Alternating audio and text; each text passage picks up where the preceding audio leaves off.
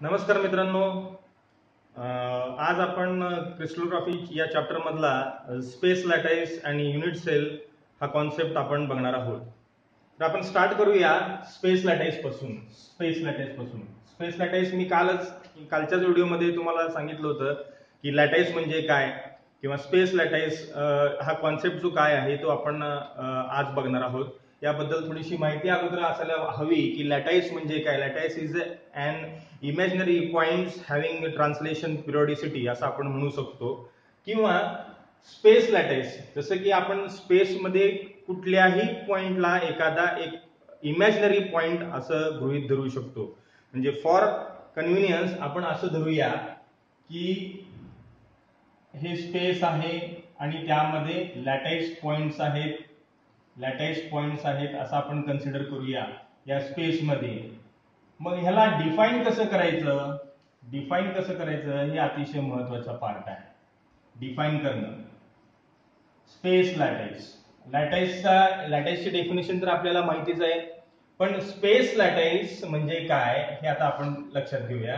की या कुठल्याही पॉइंटला कुठल्याही पॉइंटला हा घ्या किंवा हा घ्या किंवा हा घ्या या कुठल्याही पॉईंटमध्ये जरी आपण स्वतःला त्या फ्रेममध्ये बसवलं तर त्यावेळेस आपल्याला बाकीचे जे पॉइंट्स आहेत त्याचं आयडेंटिकल सराउंडिंग किंवा आयडेंटिकल एन्व्हायरमेंट मिळतं त्याला स्पेस लॅटाईस असं म्हणतात. म्हणजे सपोज मी इथं उभारलो आहे आणि हा एक क्यूब आहे असं आपण गृहीत धरू.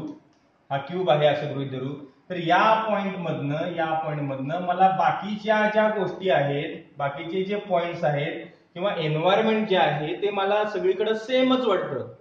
सेमच वाटतं. म्हणजेच काय? A set of and imaginary points from which the environment looks the same is called as a space lattice is called as a space lattice कारण आपल्या त्या पॉइंटच्या सराउंडिंगला जे काही पॉइंट्स असतील जे काही पॉइंट्स असतील ते आपल्याला सगळ्याला सेमच दिसतील. सगळ्या बाजूनी सेमच दिसतील. म्हणजे आपण हा पॉइंट कन्सिडर करूया.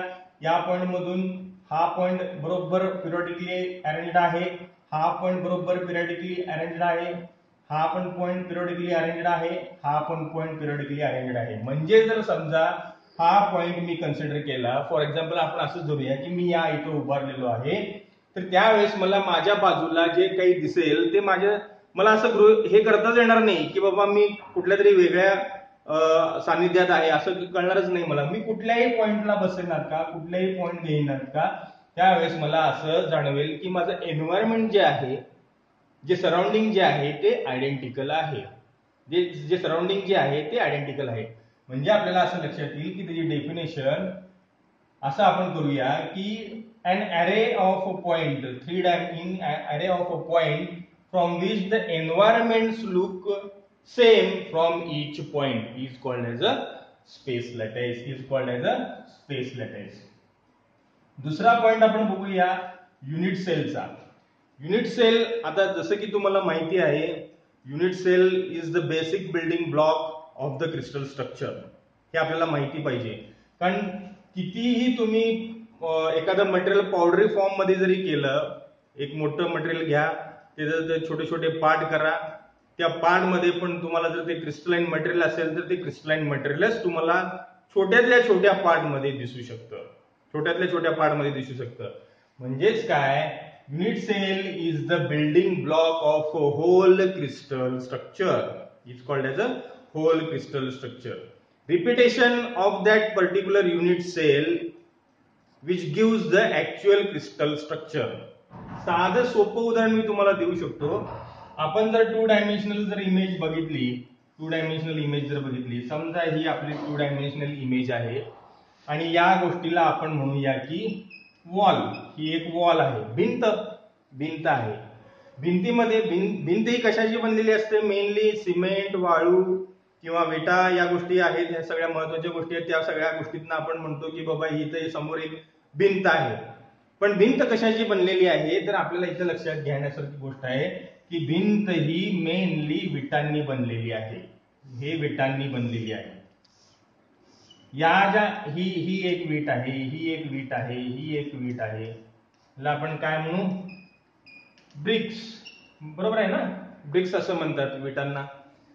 जर एकावर एक एकावर एक ब्रिक्स जर आपण असं रचत गेलो तर त्यावेळेस आपल्याला काय होल भिंत मिळते. पूर्ण भिंत मिळते. म्हणजेच आपल्याला असं लक्षात येईल ज्यावेळेस आपण म्हणतो की त्या समोरच्या अं, जिथं काय आहे तर आपण भिंत म्हणतो आपण वीट म्हणत नाही. बरोबर आहे का? कारण वीट वीट रिपिटेशन केल्यामुळं रिपिटेशन केल्यामुळं त्याला आपण भिंत म्हणतो.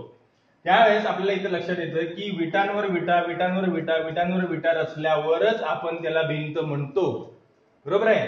तसंच काही क्रिस्टलच्या बाबतीत आहे. क्रिस्टलच्या बाबतीत आपण असं म्हणूया ही झाली टू डायमेन्शनल इमेज बरोबर आहे? ही झाली two dimensional image three dimensional image जर आपल्याला काढायची असेल थ्री डायमेन्शनल इमेज तर आपल्याला काय घ्यावं लागेल? एक क्यूब घ्यावा लागेल. एक क्यूब आहे असं आपल्याला कन्सिडर करावं लागेल. बरोबर आहे का? हा एक क्यूब आहे असं आपण कन्सिडर करू. त्याच्यावर आपण अजून एक क्यूब काढू शकतो. बरोबर आहे? हा एक क्यूब झाला. हा एक क्यूब झाला. बरोबर आहे? हा एक क्यूब झाला. हे क्यूब वर क्यूब काढतोय क्यूब वर क्यूब काढतोय म्हणजे आपल्याला या पार्टला आता या पार्टला आपण काय म्हणूया? की हे पार्ट जो आहे तो युनिट सेल आहे. युनिट काय आहे? युनिट सेल आहे. गेटिंग द पॉइंट क्लिअर ज्या ज्या वेळेस छोट्या छोट्या गोष्टींचं रिपिटेशन होत असतं रिपिटेशन होत असतं आणि एखादं कन्स्ट्रक्शन होत असतं त्यावेळेस आपण त्याला म्हणतो की एक कुठलं तरी कन्स्ट्रक्शन फॉर्म झालेलं आहे. या पूर्ण गोष्टीला या पूर्ण गोष्टीला क्रिस्टल स्ट्रक्चर असं म्हणतात. क्रिस्टल स्ट्रक्चर असं म्हणतात. आणि या छोट्याशा पार्टला छोट्याशा ब्लॉकला स्मॉलेस्ट पार्टला युनिट सेल असं नाव म्हणतात. युनिट सेल असं नाव दिलं गेलेलं आहे. गेटिंग द पॉइंट क्लिअर परत एकदा सांगतो बघा. Unit cell is nothing but the smallest block and the repetition of that smallest block gives the actual crystal structure actual crystal structure यामध्ये आपण असंच केलेलं आहे. एक युनिट सेल घेतलेला आहे. एक युनिट सेल आपण त्याचं जर रिपिटेशन करतोय आणि एक होल क्रिस्टल स्ट्रक्चर आपण तयार करतोय. या होल क्रिस्टल या या सगळ्या मोठ्या गोष्टीला आपण क्रिस्टल स्ट्रक्चर म्हणतोय आणि एका छोट्याशा पार्टला आपण काय म्हणतोय? युनिट सेल असं म्हणतोय. युनिट सेल हे जनरली पॅरलोग्रामने डिफाईन करतात असं आपण गृहित धरूया. पॅरलोग्राम आपण काढूया. जनरली पाच वे वेज आहेत ते काढायचे. ते आपण बघूया की कसे काढतात. एक दोन तीन. आता हा जो आहे तो स्पेस लॅटाईस आहे. आपण असं कन्सिडर करू स्पेस लॅटाईस घेतल्यानंतरच आपल्याला युनिट सेल काय आहे हे कळेल. स्पेस लॅटाईसमध्ये आपण जर असे पॉइंट्स काढत गेलो आणि पॅरलोग्राम जर टाकत गेलो बरोबर आहे? आता समजा हा एक मी एक घेतलाय हा ए आहे. हे हे स्पेस लॅटाईस आहे. हा? हा एक पॅरलोग्राम घेतोय ह्याला आम्ही बी नाव देतोय. बरोबर आहे? हा एक पॅरलोग्राम घेतोय ह्याला मी काय देतोय? सी नाव देतोय. सी नाव देतोय. बरोबर आहे? हे जे सगळे आहेत ते स्पेस लॅटाईस आहेत आणि unit cell is generally represented by a parallelogram असं आपले आता मी सध्या तीनच पॅरलोग्रामच्या डायग्राम्स काढलेले आहेत. आता यामध्ये ए बी सी असं लक्षात येते तुम्हाला. या गोष्टीमध्ये तुम्हाला आय एक गोष्ट लक्षात येते की नाही कळत नाही माहीत नाही आहे मला की हा या ह्या कॉर्नरला या कॉर्नरला ऍटम्स आहेत किंवा पॉइंट्स आहेत आपण असं कन्सिडर करूया. या ह्या फिगरमध्ये या पूर्ण फिगरमध्ये थोडस नीट बघितलं तर लक्षात येईल की इथं मध्ये हा एक पॉइंट आलेला आहे. मध्ये हा एक ऍटम आलेला आहे. बाकीच्या कॉर्नरला पण ऍटम्स आहेत पण हा इथं मध्ये एक ऍटम आलेला आहे. म्हणजे आपल्याला असं लक्षात येतं की त्यामध्ये यामध्ये जरासं काहीतरी चेंज आहे.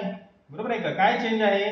ए आणि बी या डायग्राममध्ये कॉर्नरला ऍटम्स आहेत. ए आणि बी या या फिगरमध्ये कॉर्नरला ऍटम्स आहेत.